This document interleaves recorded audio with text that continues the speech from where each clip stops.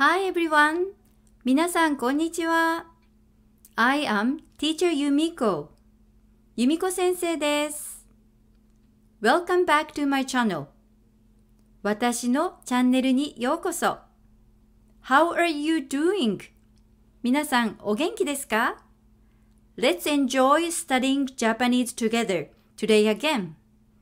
今日も楽しく日本語を勉強していきましょう。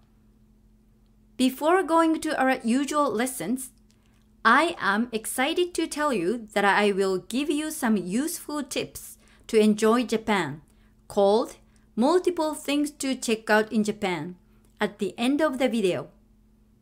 Today, I will introduce my hometown. So please watch until the end. Don't miss it. 今日から日本で役立つ情報題して Multiple Things to Check Out in Japan をビデオの最後にお届けしたいと思います。今日は私の生まれ故郷を紹介します。最後までご覧ください。お見逃しなく。Well then, let's get started. それでは始めましょう。Today, we are going to learn five words. Thank you.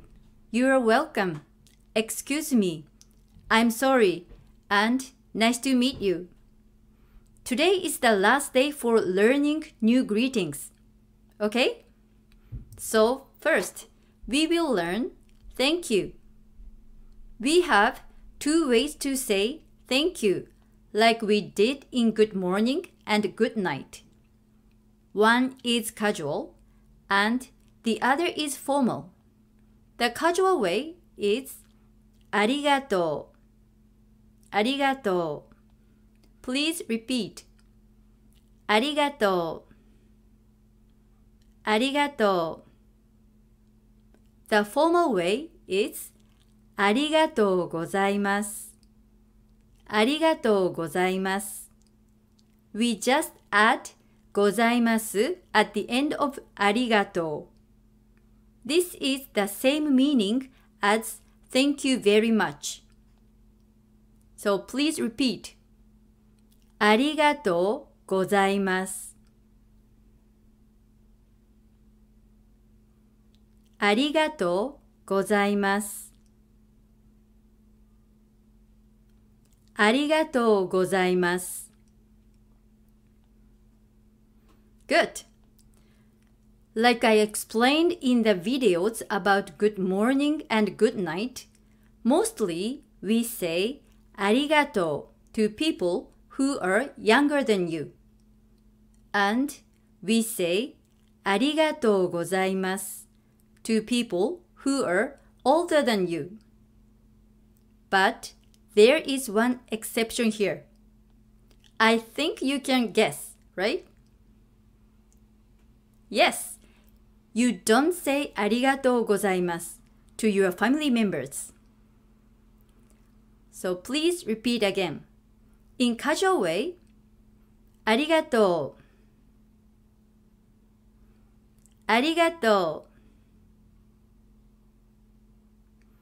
In formal way, ありがとうございます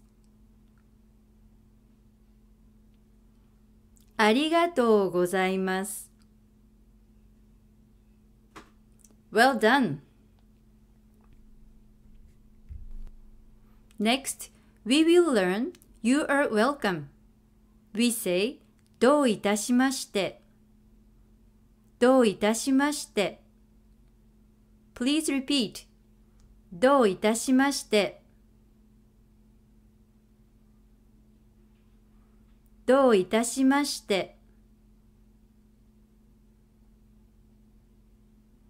Good. But to be honest with you, we don't often say どういたしまして in our daily conversations. Then, what do we say instead? We say いえいえ。いえいえ。The meaning of いえいえ is really similar to no problem in English. you can say ie ie to everyone. Then let's practice ie ie.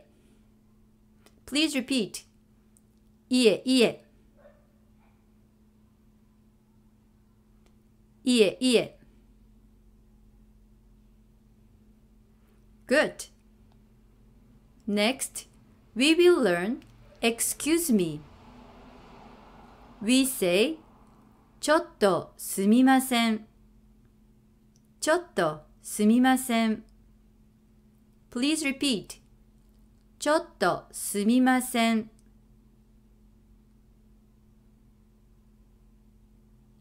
ちょっとすみません。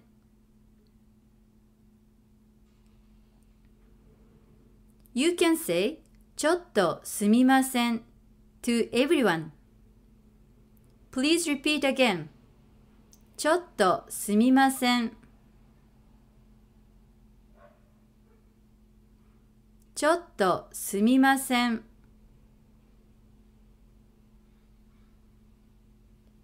Well done. Next, we will learn I'm sorry. We have four ways to say I'm sorry. But I will tell you the three most commonly used ways here. These three are good to use in your daily conversations. The first one is most casual. The second one is casual.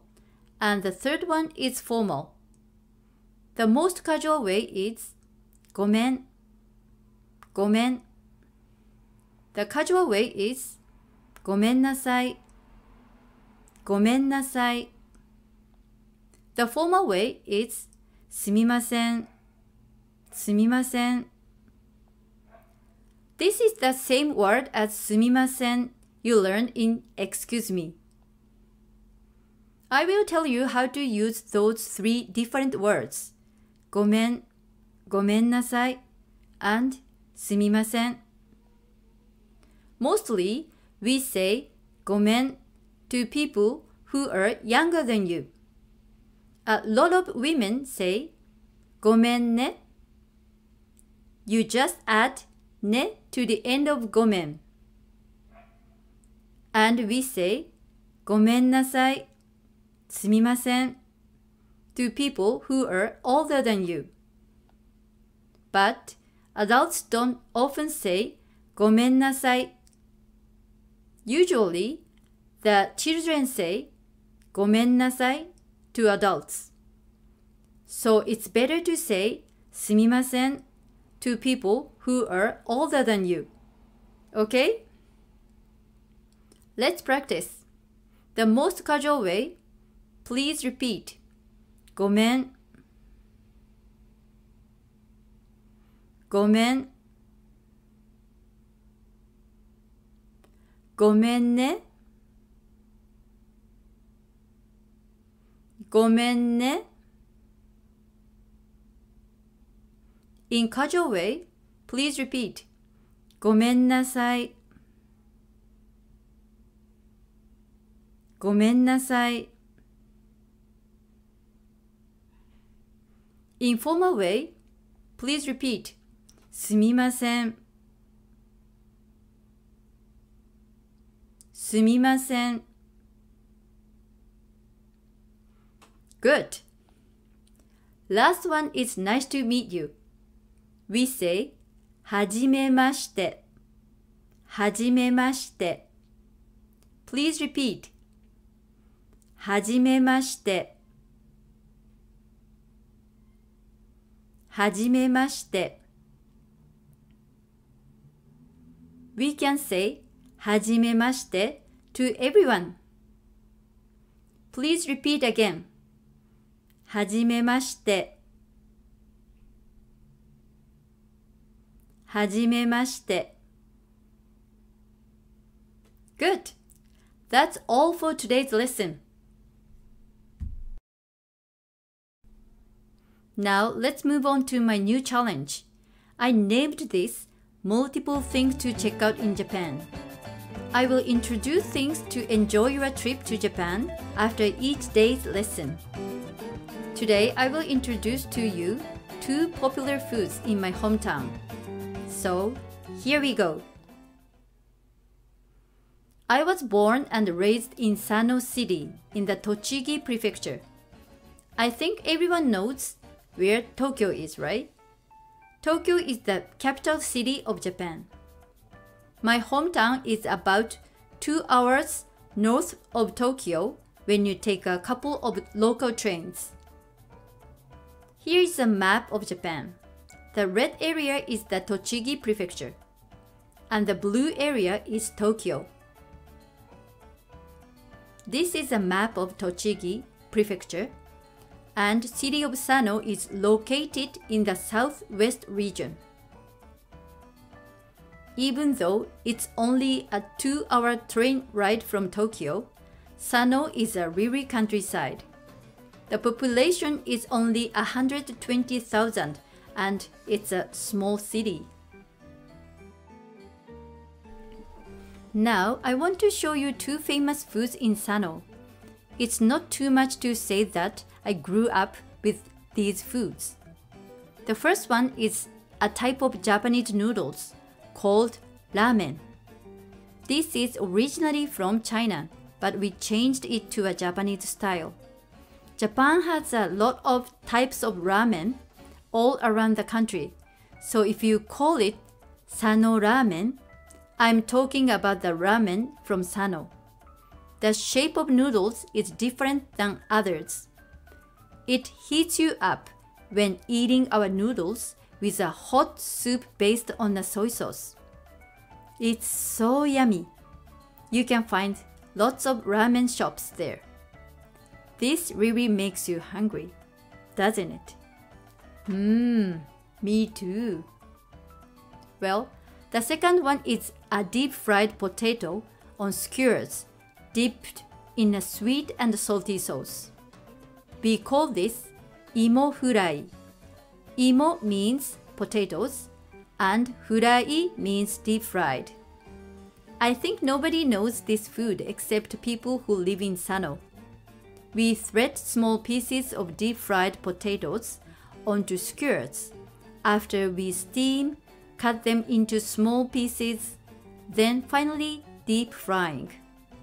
What makes its taste better is the sauce around potatoes. This reminds me of my father because he always buys them for me when I visit Sano. Mmm, mouth watering.